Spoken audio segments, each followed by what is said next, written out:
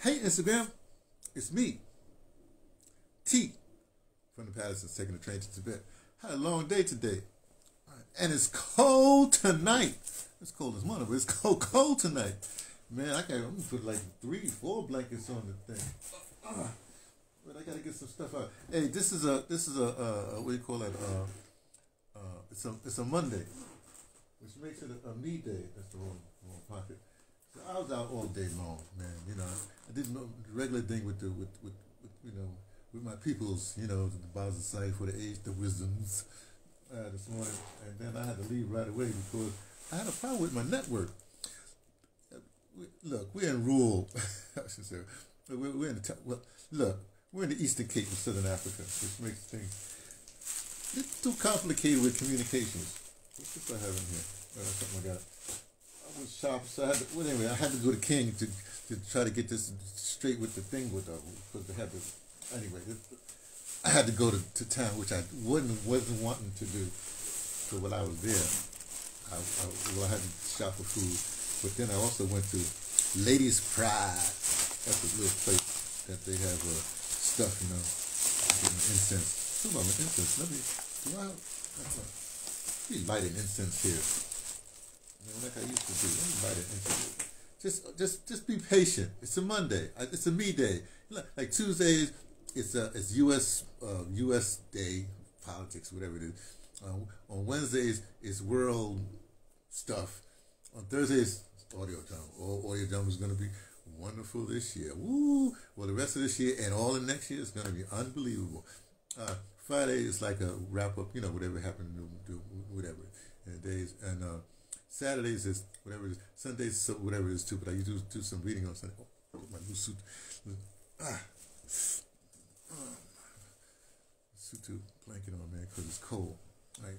Wait a second. I got a light an incense. Some lighting incense. I might as well. Oh, I got a candle. Well, let me light the incense first. Uh, going to light the incense. I got a lighter. Actually have matches, but you know, I'm being lazy. So let me do the lighter right now. Which one is this? This is called oh, it's called success. Yeah, right. I never believe any of these things, what they, they call stuff, you know what I mean? And I'll put it in my incense holder here. I don't know if you can see it. Got this from, uh, oh, let me not burn the thing. Got that from, uh, Oro, Oro, India. You know, Oro really since a candle, maybe I'll light a candle too. Of course, what I got from Ladies Pride, a bunch of things. But, uh, that's a small size. Oh, I got some more incense. But they only, they only had one kind. Which one is this? It's called uh, protection. Well, you know, it's one thing I learned when I travel. I know, especially when I travel. Oh, well, even when I was young, I know how to protect myself. Certain things you do. I told you all this before, but uh, first thing you do, you don't wear well. Your shoes can't be. You, look, your shoes. You don't wear good shoes don't don't do the watch, don't do jewelry whatever have you, because you know people think you got money, and so then they do stuff to you. But I'm looking for something in here. Here it is. Got some other stuff in there. Got the pencils because when I do the audio drama thing, I start an audio drama, create my elite unit. This might be the last. I shouldn't say it like that, but I've had a lot of audio drama units uh, concerns in my audio drama career that started in uh, uh, 1989 officially, I guess, even though I was before then. Uh, but uh, had a lot of groups. Uh, the most notable group, it's like, it's like, like, you know, no, Prince never got over the group, the, Revo- the Revolution, his first group. Right. Well, my first real audio drama group that I mentored or whatever have you was Creative Unity. Uh, and well, hard to beat them. so I don't, I don't, I don't, I don't put anything. I don't put any of my audio drama groups against. You know, I don't, I don't rate them against each other, nothing like that. But um, but you know that because I've had some really great situations, uh, unbelievable, and audio drama itself. Uh, come on, thing. Well, it's lighting, but it's just, uh, it, I broke. It was a big candle I broke off. See, but I got this new candle holder for Ladies Pride. You know, and so I'm gonna test it out. If I get the candle, light. okay. Look, let me just stop wasting time here. So uh, this is a me day, and uh, like I said, this is the end of a, a, a nine month, uh, a, a nine month. Tomorrow starts the the uh, the ten month October, the tenth month. Oh, this is not, okay. I guess it'll be all right. It starts the tenth month. Let me try to put some thing here so it has some stability in this thing. And the tenth month is like a um, one and zero is one, so it's like a. But the, the October is like a preview month for next year.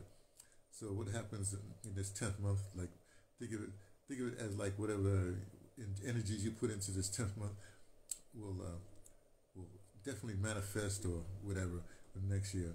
I'm, I'm putting all that stuff on there, but I learned a lot of stuff from Lloyd Strayhorn. You know, numbers and you guy. Hung out with him in the '80s for a little while. There you go. Hey, look at that. Got a candle. I'm gonna turn the light out after I'm finished here. So, because I like to meditate before I go to bed. When I say meditate, I mean just think, think. I don't, uh, whatever. Uh, what I want to tell y'all? Uh, what did I say? Oh, okay, who I am. uh, first of all, let me identify myself completely. I'm an American African made in the South Bronx, New York City. Oh, got some candle wax fell on me. I heard people do freaky things with candle wax, man. They put it on there, let it drip on their bodies and stuff like that. I guess that's that's the minor freak thing that that that that that that Diddy and them be have been doing. Oh well, you know. I have a theory about that. Okay, let me tell you a theory that I'm to mention. Okay, I'm to mention uh, Eddie Murphy, but it's not, not not not well. I guess you know Eddie Murphy got busted with this uh, transsexual, whatever. You know, some dude. But here's my theory. Now, remember, Eddie got famous when he was about 20, 21. Anyway, so it's like when you're young, you know, you might see a, a, a, a girly magazine, you know what I mean? Or you might get some playing cards with the girlies, like, like that. And so you get curious, right? So now, if you get a lot of money all of a sudden, he goes out to Hollywood and he hears about a he, she, whatever it is. And so instead of looking at a he, she in the magazine, I saw, well, let me tell you something. Just one, one, one little thing. So I have to. I meander. So you can leave right away because I got to meander my whole thing. Uh, I was taking an extension course from uh, Trenton State College. This when I was in Air Force. It was a guy. In the, there was a guy in the class. One of the class I was in. I think it was a philosophy class. Anyway, he was a he was a he's a photographer for the police, like that, and he's and he I don't know. Sometimes people just like to talk to me. I think I have some sort of some sort of priest vibe. But I don't tell nobody nothing, you know what I mean? So anyway, so he he he said, "You want to see something?" And he opens his book and he shows me all these because he had mugshots or whatever, mugshots and all kinds of things like that. One of them was like one of these he she, you know, a, a dude with a, with a penis and stuff like that. And like none of this stuff, I'm going like, eh. In fact, by that time I had been a lab technician, so I did autopsies and stuff like that. So nothing really moves me. Let's put it that way. Plus, you grew up in South Bronx, which I did. You know, which, which explains that when I say uh, um, I'm, I'm an, uh, an American African, I mean I'm an American, meaning I hold an American passport. See that? I hold an American passport, and but I was made in the uh, section of the of the Bronx, which is the South Bronx. You, it's the real South Bronx, and uh, so that's where I was made in America, right? But what was the African thing? How come you're not an African American? Because because I'm not hyphenated. Because I don't know what people come with. People call what they want to call because they want to categorize you. Me, I identify myself. Okay, I'm just saying. I've always identified myself. I've been all these alliterations, no black, uh, Afro American. Uh, I never all that stuff. You know what I mean? Uh, I, I, particularly, you know, Negro is kind of interesting, only because you know that's the real. The, you know, you, you were Africans when you came to to to to the Americas, right? But then, uh, because of a number of things, they started calling you Negroes. So if you're a Negro, a real Negro, right, then you basically your lineage started in in after the slave trade or during the slave trade, whatever it is. Blah, blah, blah. Anyway, so so the, but but with the African, I'm an American African, right?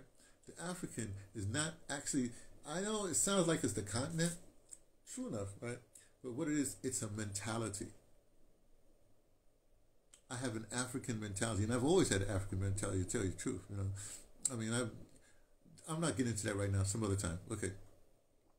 Which means, uh, for me, right, in this day and age, after my all my whatever, it means this. Uh, one of my heroes is Mangaliso Robert Sobukwe. He's a he's a he's an uh, South African, Azanian, whatever. He's a, he's, an African. Uh, well, he was an African. Uh, in fact, uh, well, he's African, but he's he um, he's the one when you had you heard about the the, the Sharpeville Sharpeville massacre when they burned their passports. Well, he's the one that let's say he per- perpetrated that. Let's put it that way. But you know, I, I went to Fort Hare and he was at Fort. He was he graduated from Fort Hare. Blah blah blah. I said I went to Fort Hare. I didn't say I graduated from Fort Hare. Uh, and uh, one of the things um, I read, I read stuff, you know, and one of the things he said was that because he founded the PAC, the Pan, PAC, Pan African Congress, uh, after he left the ANC because out of principle, because the ANC wasn't principle, and I won't get into it right now. The point is, uh, one of the things he said in his writings was that to be African, you have to have humanity. So have an African mentality, have a humanitarian, a humanity mentality.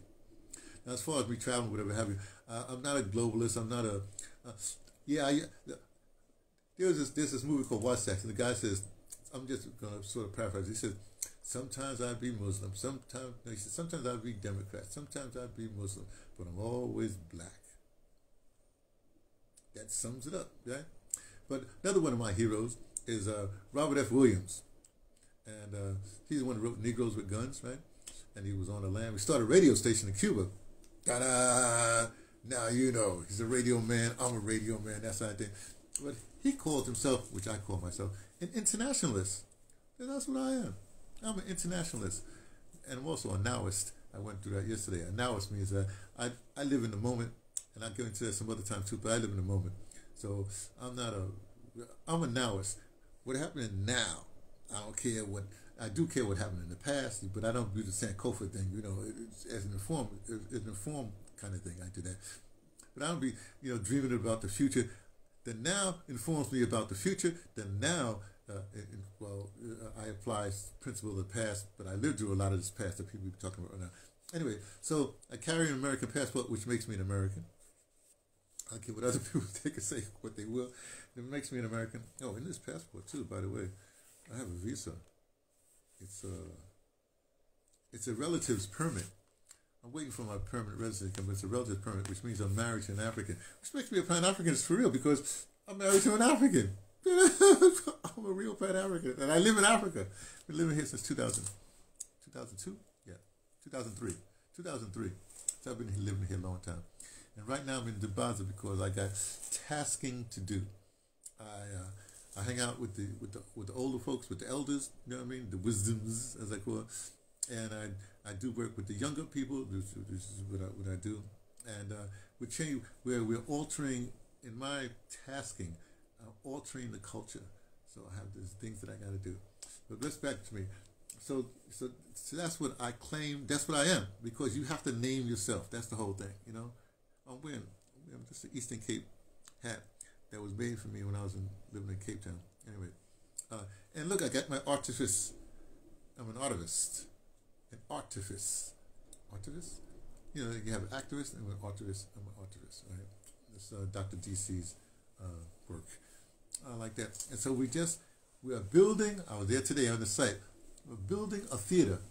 Well, it's, it's regular, whatever have you. I wish they would I gotta talk to him, man. They gotta redesign this. I, I have to have to have extensions to this theater. Anyway, so I have a theater. When I say I have a theater, I mean we have a theater in Zebalaza in the, in, in, in, in the village. Actually, I'm in I'm in Dimbaza, which we call a location. Well, they're all locations, but Dimbaza is, is a township. Dimbaza Township is really to me a location. To me, a location is sort of uh, uh, less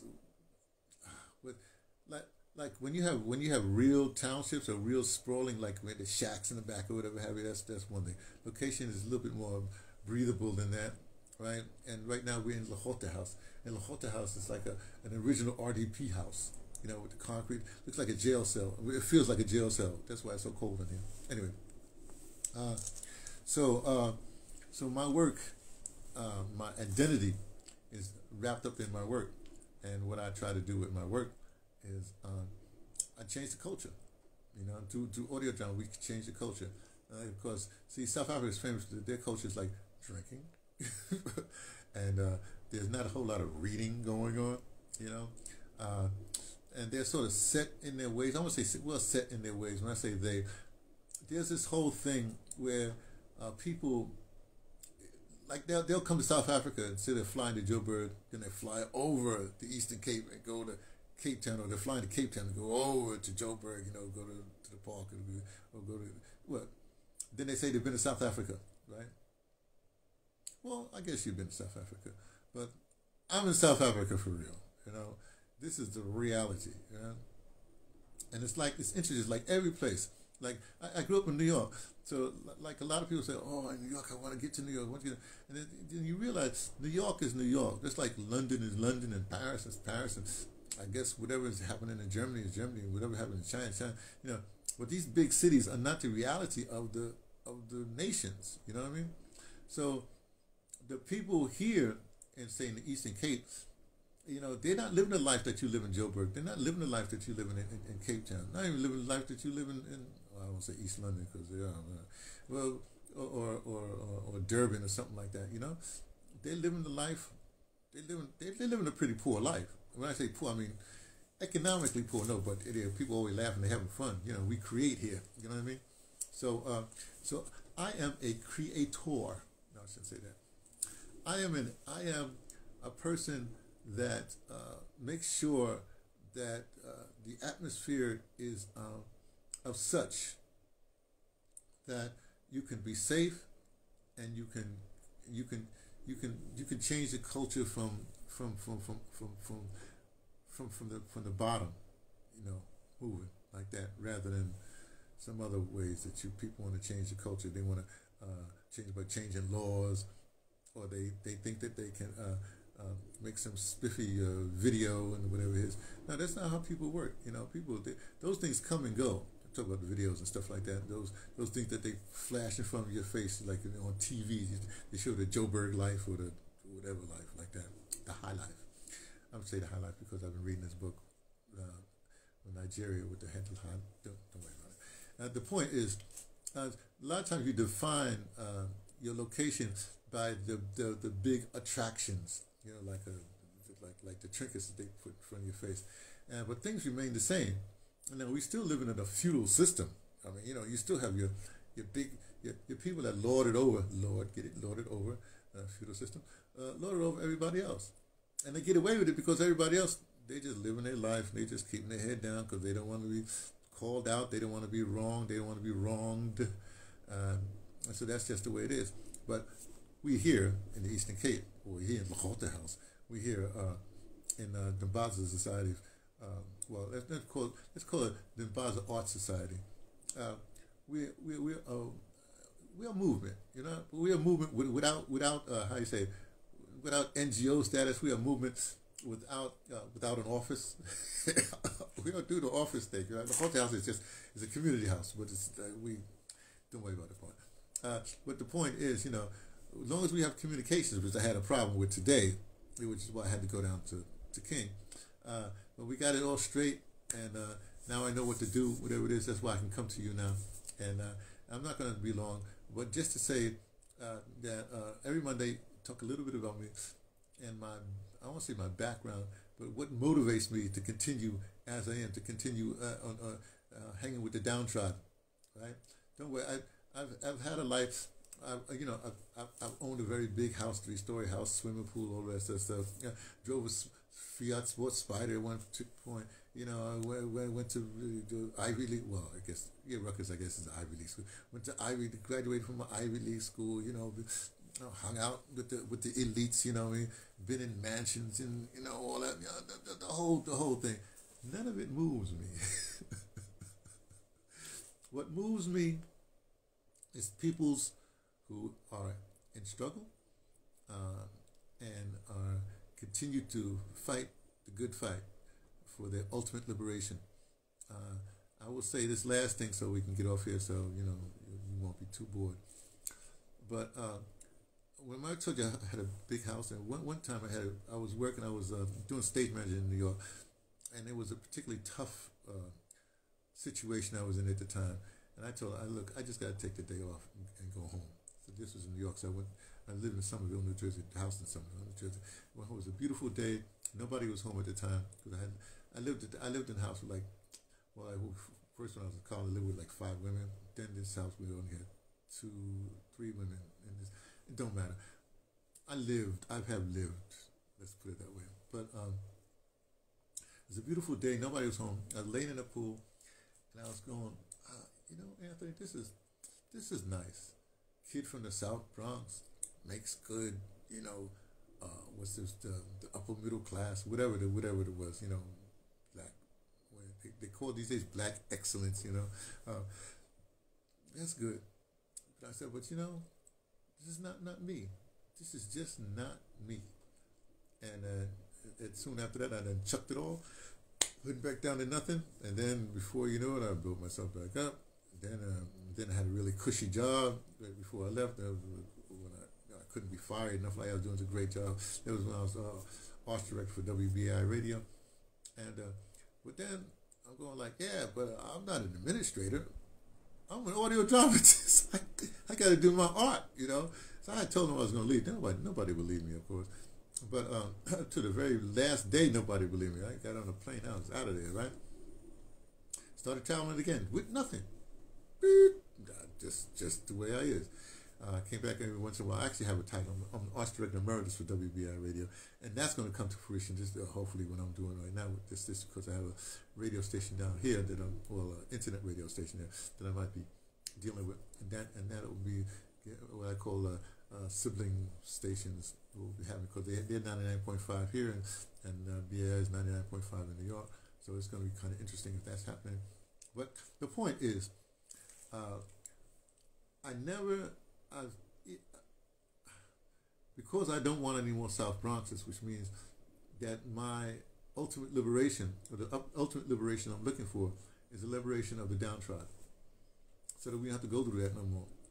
Um, because everything else has been constant. You know, you have the, the, the, the lords and the whatever, you know, the, the, the big people, the big people, and they, they have the same playbook. You know what I mean?